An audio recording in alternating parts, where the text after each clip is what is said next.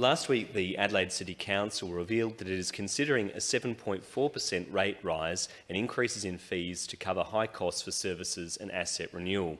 This morning, Channel 9 reported that rate hikes will hurt small businesses who may need to pass those increases on to customers, with the coffee shop owner concerned about the effect it will have on the costs of doing business in the city.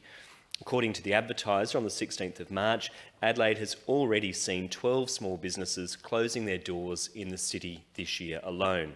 Meanwhile, big businesses posting major profits are able to absorb rate increases more easily than small local businesses that have a lower turnover. My question to the Minister, therefore, is what support is the government providing to small businesses in the CBD to stop them from closing their doors? And would the government consider giving the City of Adelaide the ability to charge differential rates to businesses based on profit margins so that small businesses are insulated from rate rises? Call the Attorney General. Uh, thank you, sir, and I thank the honourable member for his question. I will uh, pass them on to the Minister and I'll place them and bring back a reply.